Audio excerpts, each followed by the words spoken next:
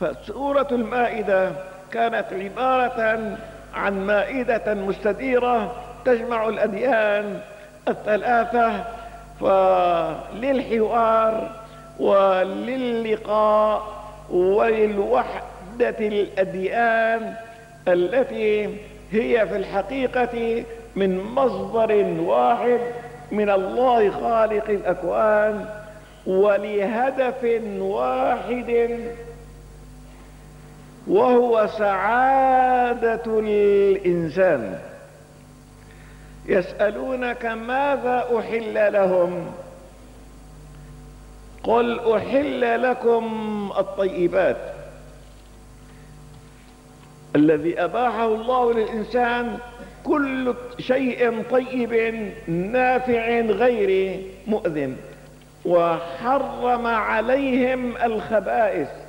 كل شيء خبيث كل شيء ضار في الجسد أو في العقل. اليوم أحل لكم الطيبات وطعام الذين أوتوا الكتاب حل لكم وطعامكم حل لهم. أهل الكتاب اليهود والنصارى والمحصنات من المؤمنات والمحصنات من الذين أوتوا الكتاب من قبلكم.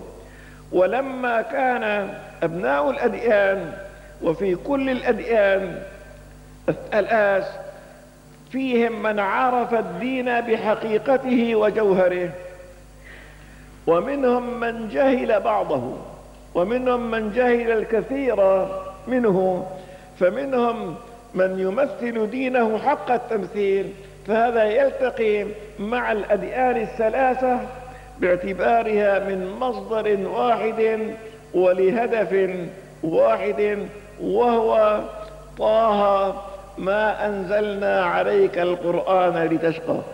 أنزلنا عليك القرآن أيها الإنسان لننقذك من الشقاوة وننقلك إلى السعادة.